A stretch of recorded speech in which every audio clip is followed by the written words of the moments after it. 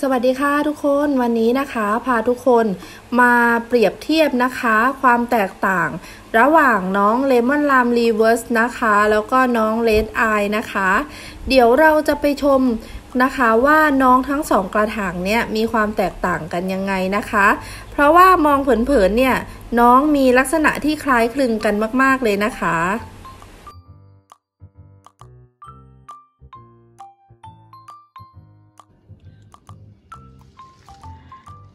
นี่ค่ะทุกคนจะสังเกตได้ว่าตัว colocasia สองกระถางนี้นะคะ เขาจะมีความคล้ายคลึงกันนะคะ เพราะว่าเขาเป็น colocasia ที่มีพื้นใบ เป็นสีเขียวอ่อนนะคะ ตัวนี้เป็นตัว Reverse นะคะทุกคน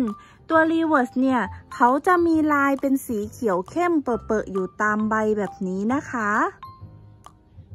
นี่ค่ะ อันนี้คือ Lemon Lime Reverse นะคะ อ่า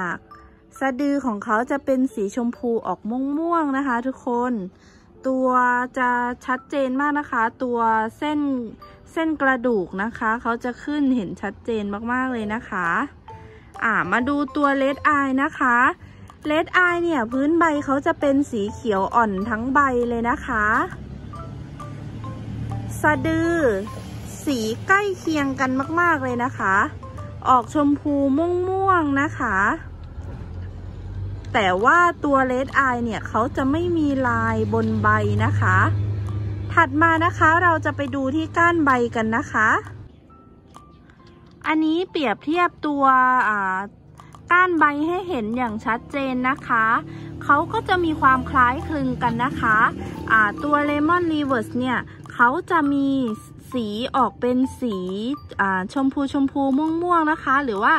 สีก้านบัวนะคะ ทุกคนไล่เฉดลงมานะคะ เขาก็จะมีขีดขีดนะคะ นี่ค่ะ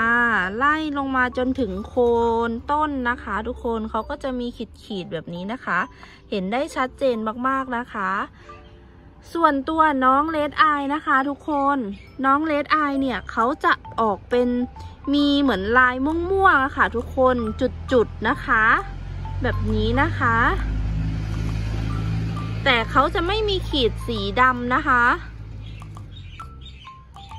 อ่าลักษณะโดยรวมนะคะก็ถือว่ามีความคล้ายคลึงกันมาก ๆ เลยนะคะ ต้องอาศัยแบบ ความสังเกตจริง ๆนะคะ ทุกคนถึงจะแยกออกเนาะถ้าถ้าดูตัวก้านใบนะคะ